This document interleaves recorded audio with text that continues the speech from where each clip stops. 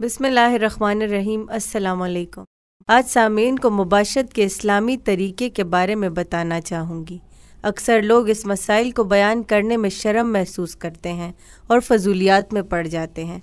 फजूलियात में पढ़ने से बेहतर है कि हम इस्लाम के हुक्म से आशना हों और इसमें शर्म महसूस ना करें।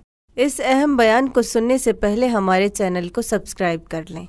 बीवी से हम बिस्तरी, फत और असमत की हिफाजत अफसाइश नस्ल और हराम काम से बचने की नीयत से हो। इसी सूरत में अल्लाह न सिर्फ़ हम बिस्तरी पे अजर देगा, बल्कि नेक औलाद से भी नवाजेगा और साथ साथ दुनियावी बरकतों से भी नवाजेगा। हम बिस्तरी शहवत रानी नहीं, बल्कि जोजैन के लिए सकून कल्ब और राहत है। इसलिए हम बिस्तरी शोहर बीवी से खुश तलबी की बात करें और हम बिस्तरी के लिए जहनी तौर पर और जिस्मानी तौर पर राज़ी करें। तर्जुमा, हमें शैतान से अलहदा रख और तू जो औलाद हमें अनायत फरमाए, उसे भी शैतान से दूर रख। फिर अगर इन्हें बचा दिया गया तो शैतान उसे कोई नुकसान नहीं पहुँचा सकेगा। हम बिस्तरी की जगह आवाज़ सुनने वाला और देखने वाला कोई ना हो, यानी ढकी चुपी जगह हो और हम बिस्तरी की हद तक शर्मगाह खोलना काफ़ी है। तहम एक दूसरे को देखना और मुकम्मल बरहना होना आपस में जायज़ है। जिस हदीस में मस्कूर है, हम बिस्तरी के वक्त बीवी की शर्मगाह देखने से अंधेपन की बीमारी लाक होती है।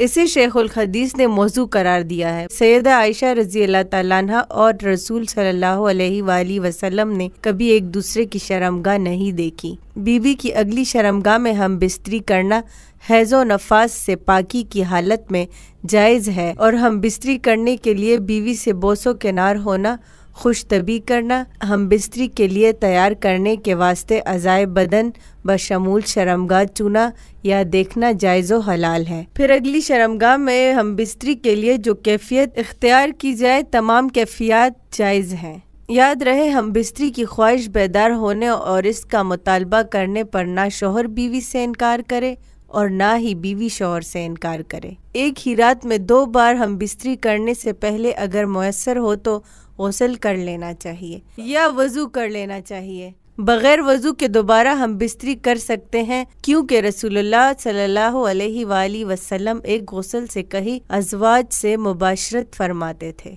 मर्द की शर्मगाह औरत की शर्मगाह में दाखिल होने से औरत व मर्द दोनों पर गसल वाजिब हो जाता है। मनी का इंजाल हो या ना हो, हालत जनाबत में सोया जा सकता है।